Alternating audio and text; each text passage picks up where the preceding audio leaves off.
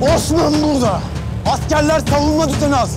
Ben artık kibir değil, zafer istiyorum. Bizler bu vakte kadar her dediğimizi yaptık. Saldırın! Onların niyetleri bu toprakları yurt kılmaktı. Önce İnegöl, Bilecik, Söğüt ve Konya. Atalarımız bu topraklara at sürdüler.